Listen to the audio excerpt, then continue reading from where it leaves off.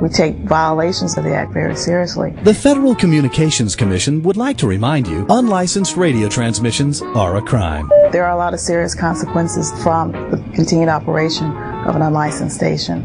In particular, there's the potential for interference.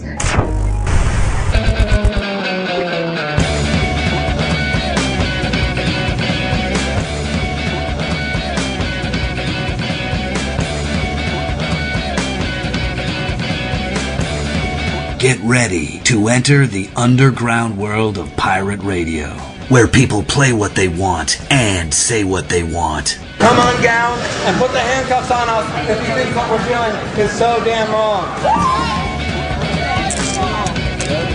You are interfering with an arrest. The FCC is the radio police. You need to understand that. And if you understand that, then you'll have any misunderstanding about how far they'll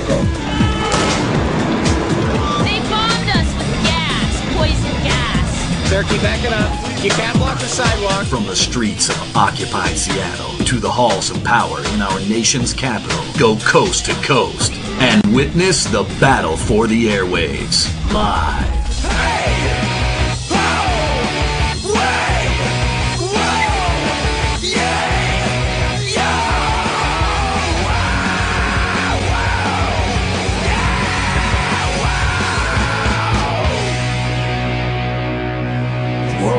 Folks. Pirate Radio USA is not illegal to listen or watch.